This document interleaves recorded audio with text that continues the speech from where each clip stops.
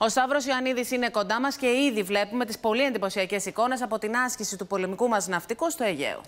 Εύα, πρόκειται για εντυπωσιακές εικόνες, αλλά και για ένα ηχηρό μήνυμα αποτροπής που εξέπεμψε για μία ακόμη φορά το πολεμικό ναυτικό με μια σειρά δραστηριοτήτων εκπαιδευτικών στο κεντρικό Αιγαίο και στο Μυρτό Πέλαγος. Μάλιστα, το επιτελείο συνδύασε τέσσερις ε, δραστηριότητες, στις οποίες μάλλον συμμετείχαν όλες οι μονάδες του στόλου, ε, οι φρεγάτες, οι πυραυλάκατοι, τα υποβρύχια αλλά και τα ενέργεια μέσα του πολεμικού ναυτικού.